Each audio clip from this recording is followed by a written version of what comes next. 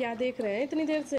देख रहा हूँ कि ऐसा क्या है जर्सी में जो इसके चक्कर में इतने जूते खा लिए चप्पल खा ली समाज में इज़्ज़त अलग गई। ना इसमें रोटी लपेटी जा सकती है ना इसका पोछा बन सकता है। और पतली साली इतनी है कि इससे ठंड भी ना रुके। जर्सी उठाइए मल्टीपर्पज है।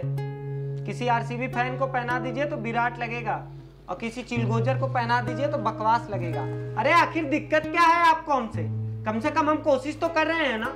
बाकी मोहल्ले के लड़कों की तरह आज आरसीबी तो कल एमआई और परसों गुजरात और लखनऊ को सपोर्ट करके दोगलापन तो नहीं कर रहे हैं ना? अरे चेन्नई पर ध्यान गया होता ना तो आज बात कुछ और होती। अरे नहीं गया ध्यान चेन्नई पे।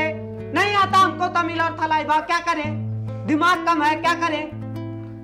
आप ही का दिमाग है हमारे अंदर। आप ही का डीएनए दौड़ रहा है। आपके पास है आईपीएल ट्रॉफी?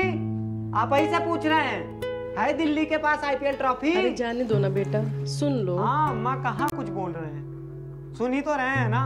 अब देखिए ना कितना देरी से आरसीबी के बारे में गंदा गंदा बोल रहे हैं। कितनी बार बोल दिए कि आईपीएल की बाकी टीम हमारे लिए खाक बराबर है। नहीं समझ आता। यही आरसीबी ही समझ में आता है हमको। अब या तो हम आरसीबी को सपोर्ट कर लें, या फिर क्रिकेट देखना ही छोड़ दे। क्या चाहते हैं? आप ही बता दीजिए। 18 साल की उम्र में विराट कोहली इंडिया के लिए अंडर 19 वर्ल्ड कप ले आया था। उसके भी बाप अगर आपकी तरह डंडा किए होते ना तो बड़ी बड़ी कंपनियाँ इंटरनेट पे जूता चप्पल ना बेच पाती प्यूमा का। डेस्टिनी समझता है आपको? साला डेस्टिनी भी कोई चीज़ होता है। अरे अपना एक अचीवमेंट बता दीजिए ना हमको। कौन सा तो काम किए आप अपनी ज़िंदगी में?